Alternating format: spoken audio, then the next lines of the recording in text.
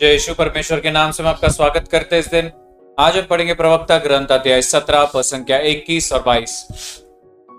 पाप छोड़कर सर्वोच्च ईश्वर के पास लौट जाओ। उससे प्रार्थना करो और उससे अप्रसन्न मत किया करो।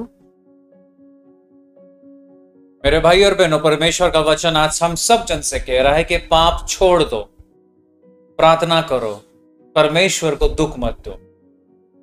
आज मेरे भाई और बहनों हम अपने जीवन के अंदर जाकर देखेंगे, भले हम प्रार्थना तो कर रहे हैं, भले हम परमेश्वर के पास तो है, कि हम सच्ची में उसके पास है क्या हमारा हृदय उसके पास है।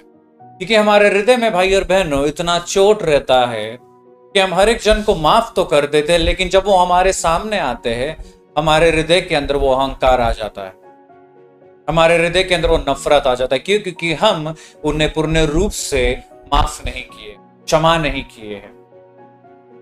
हमारा छोटा पाप, झूठ बोलने का पाप, हमारा छोटा पाप, अहंकार का पाप। हर एक चीज़ जो हमें परमेश्वर से दूर लेके जाता है, आज वचन हमें कहता है कि हर एक चीज़ छोड़ दो।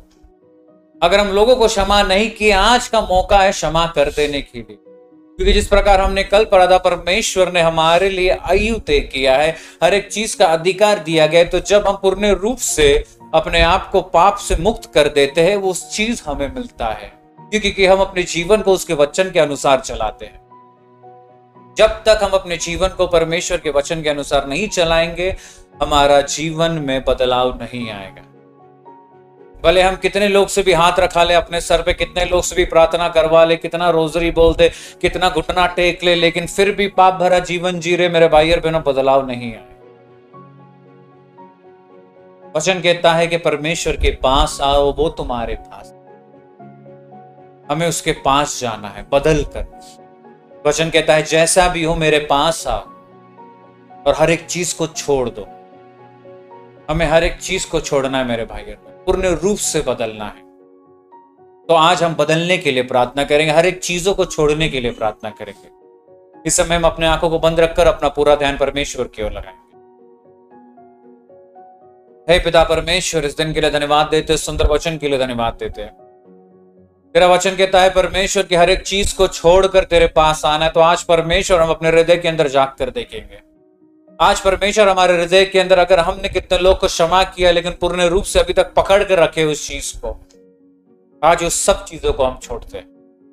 हमारे हर एक पापों को छोड़ते हैं, हमारे हर एक गलतियों को छोड़ते हैं, हर एक जन जो परमेश्वर हमें हृदय में चोट पहुँचाया है, वो सब जन को अपने हृदय के अंदर से हटाते हैं परमेश्वर। हर एक चीज़ को छोड़ते हैं।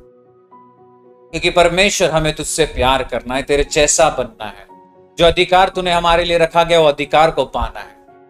जो परमेश्वर तेरा वचन कहता है कि जिस प्रकार हर एक चीज़ तेरी ओर से बनाया गया तेरे द्वारा बनाया गया और तुझ में बनाया गया तो परमेश्वर इस हृदय को पूर्ण रूप से तुझ में बना, तेरे नया पूर्ण रूप से लहू से धोकर उसको नया बना परमेश्वर।